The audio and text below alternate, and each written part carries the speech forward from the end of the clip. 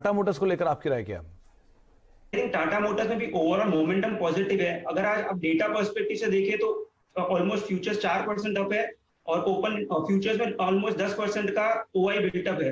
वो इंडिकेट कर रहा है कि लॉन्ग बिल्टअप हो रही है पोजिशन और 260 का जो कॉल है, वहाँ पे अभी भी ओ आई राइटिंग है। बट आई थिंक और थोड़ा मोमेंटम आने के बाद वो कॉल राइटर्स भी अपनी पोजीशन अनवाइंड करेंगे और अपने इसमें और बड़ा मूव देखने मिलना चाहिए। तो मैं टाटा मोटर्स में बाई करना चाहूँगा।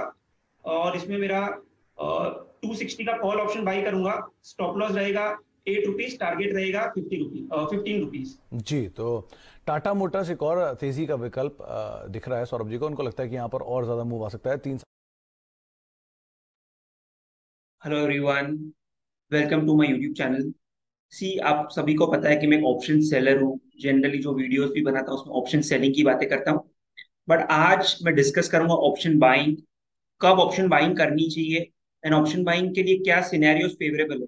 ऑप्शन बाइंग कहते हैं कि लो प्रोबेबिलिटी है पर अगर आपको राइट सेटअप मिले तो ऑप्शन बाइंग से कहीं अच्छा पैसा बन सकता है।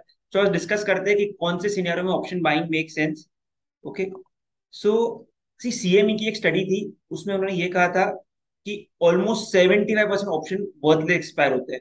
उसका मतलब अगर आप ऑप्शन को बेचोगे तो वो ज़ीरो होंगे। तो ऑप्शन बाइंग में एक लो रिस्क ट्रेड है राइट बिकॉज़ आपका जो मैक्स लॉस है डिफाइंड है। But in spite of the low risk आप ऑप्शन बाइंग में ज़्यादा पैसा नहीं बना सकते बिकॉज़ एक लो प्रोबेबिलिटी है। तो आपको एकदम राइट सेटअप चाहिए to consistently make money in option buying और आज के वीडियो में वही डिस्कस करेंगे। सो एंड तक देखना। सी ये एक ऑप्शन चेन है। ऑप्शन चेन बेसिकली क्या होता है? ये यहाँ पे सब स्ट्राइक्स है, यहाँ पे सब प्रीमियम्स है और यहाँ पे क्या ओपन इंटरेस्ट है, क्या ओपन पोजिशन है। सो ये पुराना स्क्रीनशॉट लिया हुआ है मैंने। तो ये बैंक निफ्टी का था। तो आप देखोगे थर्टी थाउज़ेंड थर्टी थाउज़ेंड में मैक्स पुट हुआ है थर्टी टू थाउज़ेंड में मैक्स कॉल हुआ है इसका मतलब है कि सभी स्ट्राइक्स में सबसे ज़्यादा ओपन इंटरेस्ट थर्टी थाउज़ेंड पे था ये ओ और सबसे ज़्यादा ओआई कॉल साइड पे थर्टी टू थाउज़ेंड पे था। सो so, इस इंफॉर्मेशन से हमें क्या हेल्प मिलती है? कि जहाँ भी मैक्स पुट ओ और मैक्स कॉल ओ है सी ये जो मैक्स पुट ओ है, यहाँ पे अगर हम देख रहे हैं कि two lakh eighty eight thousand open interest है तो किसी ने इतने ऑप्शंस बाई भी किए होंगे तो किसी ने सेल भी किए होंगे। सी बाइंग के लिए आपको ज़्यादा पैसा नहीं चाहिए बट किसने ये सेल किया है तो उसको लग रहा है कि बैंक निफ्टी थर्टी के नीचे नहीं जाएगा ये एक्सपायरी और किसने अगर थर्टी का कॉल सेल किया तो उसको लग रहा है बैंक निफ्टी ये एक्सपायरी में इस लेवल के ऊपर नहीं जाएगा। तो इस इंफॉर्मेशन को यूज़ करके हम ट्रेडिंग कर सकते हैं। तो generally max put OI support की तरह एक्ट करता है मैक्स कॉल ओआई रेजिस्टेंस की तरह एक्ट करता है और जनरली ये इंस्टीट्यूशन राइट होते हैं बट कभी कभी ये भी गलत होता है। तो उससे हम बेनिफिट लेके ट्रेड की आ, कर सकते हैं। सी आप बाइंग से पैसा कब बनाओगे? जब एक बड़ा मूव बहुत जल्दी आएगा तो अगर आपका मूव पाँच दिन बाद आता है तो भी आपको लॉस होगा। तो अगर आप बाई कर रहे हो तो आपको मूवमेंट एकदम जल्दी चाहिए। तो बड़ा मूवमेंट कब आता है? सी बड़ा मूवमेंट कब आता है? जब एक स्ट्रॉन्ग ट्रेंड है और जो बड़े ऑप्शन प्लेयर्स है वो wrong side of the trend पे कॉट हो जाते हैं अपनी पोजिशन अनवाइंड करते हैं और इससे और बड़ा मूव आता है। तो ये समझते कैसे होता है? जनरली ऑप्शन राइटर पैनिक कब करेगा? ऑप्शन राइटर कब पैनिक करेगा? जब ये मैक्स पुट हुआ या मैक्स कॉल हुआ स्ट्राइक टेस्ट होगी। टेस्ट होगी सपोज़ बैंक निफ्टी ये लेवल पे आ जाता है। तब ये पैनिक करेंगे अनवाइंड करेंगे तब सिनेरियो है हमें बाइंग करना है। तो एग्जैक्टली exactly क्या सेटअप है उसको समझते हैं। बट बेसिकली लॉजिक यही है कि बाइंग जब करना है, जब बड़े राइटर्स ट्रैप हो गए। उसको आइडेंटिफाई कैसे करना है, उसको समझते हैं। उसके पहले पुट कॉल पैरिटी करके कुछ होता है, जो आपको समझाना चाहूँगा। पुट कॉल पैरिटी बेसिकली क्या होता है? उसको डिराइव कैसे करना, हम उसको डिस्कस नहीं करेंगे बट ये ऐसी इक्वेशन है जो हमेशा होल्ड ट्रू करती है। S plus P stock price plus put is equal to call ये हमेशा ट्रू रहता है। इसको आप एग्ज़ाम्पल भी दे देता हूँ। S plus P is equal to C तो इसको देखते हैं।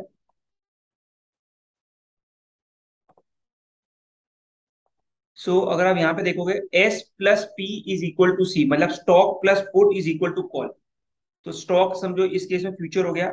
निफ्टी का अगर मैं फ्यूचर बाई कर रहा हूँ तो ऐसा पे ऑफ़ है। इसके साथ मैं निफ्टी का एक पुट भी बाई करता हूँ। एटीएम पुट ग्यारह हज़ार सत्रह हज़ार दो सौ। ये एस हो गया ये प्लस पी हो गया राइट ऐसा बोल रहा है S plus P is equal to C मतलब ये should be equal to buying a call option check कर लेते मतलब अगर मैं सत्रह दो सौ की कॉल बाई करूँ तो सेम पे ऑफ़ आना चाहिए। तो देख पा रहे हो पे ऑफ़ एकदम सेम है। लॉस भी सिमिलर है, सब कुछ सिमिलर राइट सो ये इक्वेशन हमेशा होल्ड ट्रू होगी। S plus P is equal to C okay इस इंफॉर्मेशन का फ़ायदा उठा के हम पोजीशन बना सकते हैं। So S plus P is equal to C so ये हमेशा ट्रू होती है। सो जनरली सी जब शॉर्ट कवरिंग होता है शॉर्ट कवरिंग में क्या होता है? सपोज़ आज एक्सपायरी है ओके बैंक निफ्टी समझो थर्टी फाइव थाउज़ेंड पे चल रहा है thirty five thousand max call हुआ ही है और थर्टी फाइव थाउज़ेंड पे अनवाइंडिंग हो रही है। अनवाइंडिंग मतलब वहाँ पे ओपन इंटरेस्ट कम हो रहा है। अगर वहाँ पे ओपन इंटरेस्ट कम हो रहा है मतलब कोई पोजीशन को काट रहा है, वो काट रहा है मतलब कॉल बाय कर रहा है तो सपोज़ कॉल अगर बढ़ रहा है ओके पुट में समझो कुछ चेंज नहीं हो रहा है तो स्टॉक को बढ़ना पड़ेगा। तो इस मूव से तो बेसिकली जब शॉर्ट कवरिंग होती है तो शॉर्ट कवरिंग के चलते हुए इंस्ट्रूमेंट मूवमेंट आता है। बिकॉज़ इक्वेशन हमेशा ट्रू होल्ड होती है एल्गो जिसको एक अपॉर्चुनिटी देखते हैं एंड ऑटोमेटिकली स्टॉक में मूवमेंट आता है। ओके तो बेसिकली अनवाइंडिंग से भी स्टॉक में मूवमेंट आता है। तो इसको आइडेंटिफाई करके हम ट्रेड कर सकते हैं। तो अब इस स्लाइड को वापस पढ़ेगा आपको क्लियर होगा। सो so, ट्रेड कैसे करना है? तो पहले तो निफ्टी के जो फिफ्टी निफ्टी फिफ्टी के स्टॉक्स है उसके आउटसाइड लिक्विडिटी बहुत कम है। तो उसी में रहिए। उन स्टॉक्स को सबके मैक्स कॉल हुए मैक्स पुट हुए नोट करके रखिए। अगर आपके पास कोई सिस्टम नहीं है कोई एल्गोरिथम नहीं है ओके वरना आपको सॉफ्टवेयर भी बता दूँगा। ओके और ये आपको करना है सेकेंड हाफ़ सेकेंड हाफ़ मतलब पंद्रह तारीख के बाद। सी क्यू पंद्रह तारीख के बाद और क्यू सेकेंड हाफ़ बिकॉज़ जब ये स्टार्ट द हाफ़ में होगा फ़र्स्ट हाफ़ द एक्सपायरी में होगा, तब क्या होगा कि उनके पास बहुत सारे ऑप्शन है। समझो अभी निफ्टी बैंक निफ्टी समझो थर्टी का लेवल क्रॉस कर रहा है फ़र्स्ट अक्टूबर को। और मेरे, मैंने अक्टूबर का कॉल ऑप्शन भेजा। तो मेरे पास काफ़ी ऑप्शन है। मैं नेक्स्ट वीक में बाई कर सकता हूँ फ्यूचर से हेज कर सकता हूँ, काफ़ी चीज़ें कर सकता हूँ। बट ये जब second half of the expiry में हो रही है तो प्रीमियम भी नहीं है और मेरे पास ऑप्शन नहीं तो मुझे पोजिशन एक्सपायरी के एकदम नज़दीक हूँ, ओके? तो आप ये करिए, वो स्टॉक्स फाइंड करिए जो टू परसेंट अवे है from the max OI okay? और आपको बाई करना है अगर अनवाइंडिंग दिखी मैक्स ओवाई में more than twenty percent okay? इसको एक एग्ज़ाम्पल से समझते हैं। सी ये मैंने टीवी पे कॉल दिया था, पुराना स्क्रीनशॉट है 2021 का 19 जैन। तो आप देखोगे टाटा मोटर्स 260 का कॉल ऑप्शन ओके? 19 तारीख को ओपन इंटरेस्ट क्या था?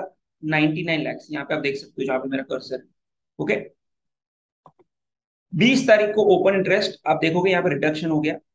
45 लैक्स पे आ गया। मैंने कहा 20 परसेंट तक ओआई रिडक्शन तो यहाँ पे तो 50 परसेंट ऑलमोस्ट हो गया। तो ये आपके रिडार पे आ गया। तो बेसिकली आप 260 का कॉल ऑप्शन बाय करोगे। और उस दिन क्या हुआ? आटा, टाटा मोटर्स 260 302 दिन में चला गया।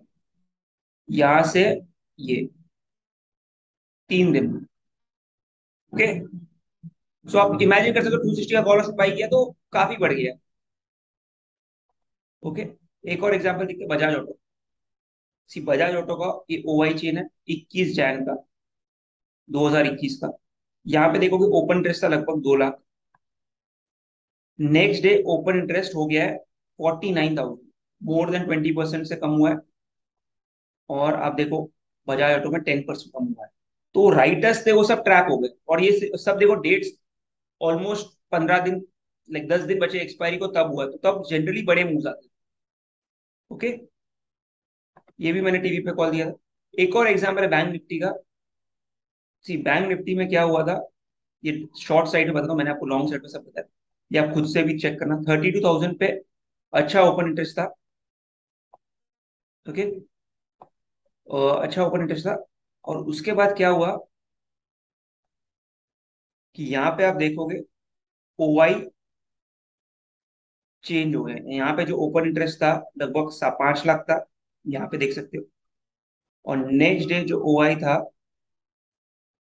वो सीधा रिड्यूस हो गया थ्री पॉइंट फाइव लैक्स हो गया। थ्री पॉइंट सिक्स लैक्स और उस दिन क्या हुआ? बैंक निफ्टी में आप चेक कर सकते हो, लगभग तीन से चार परसेंट बैंक निफ्टी गिरा था। डेट आपके पास है, बाईस तारीख को क्या हुआ था? बैंक निफ्टी में आप चेक कर लेना। ओके सो ऐसे आप ये यूज़ करके आप ऑप्शन बाइंग कर सकते हो। आप इस अपना जो भी सेटअप है इस पे ये एक और फ़िल्टर ऐड करके हाई कन्विक्शन ट्रेड बनवा सकते हो। सो so, बेसिकली क्या करना है समराइज कर लेता हूँ। ऑप्शन कब बाई करने हैं? जब बड़े प्लेयर्स ट्रैप हो रहे हैं। वो कब ट्रैप होंगे? जब मैक्स कॉल हुआ या पुट हुआ की स्ट्राइक टेस्ट होगी सेकेंड ऑफ़ द एक्सपायरी उनकी पोजीशन की अनवाइंडिंग की वजह से बड़ा मुँह आता है। पुट कॉल पैरिटी के ज़रिए समझाया है।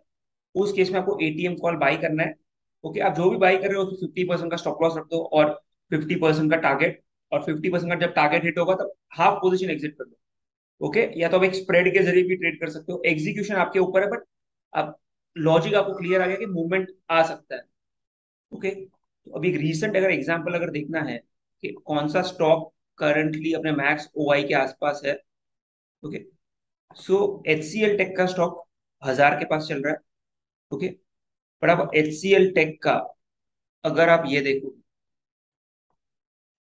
ऑप्शन चेन तो आप देखोगे हज़ार पे अभी भी मैक्स कॉल हुआ है तो अगर ये इस लेवल को क्रॉस करता है तो यहाँ पे अनवाइंडिंग की पॉसिबिलिटी है तो आप इसको रेडार पर रख सकते हो। एच सी एल टेक का स्टॉक ओके यहाँ पे रिजेक्शन आ गया थाउज़ेंड से ओके यहाँ पे दो जी काइंड ऑफ़ बना।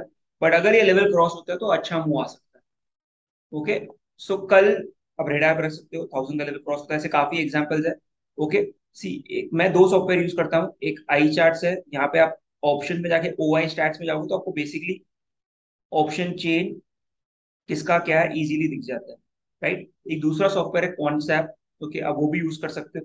ओके दोनों ही पेड है बट इनकेस आपको नहीं भी करना है तो आप एनएससी के ऑप्शन चेन के साइट पे जा सकते हो।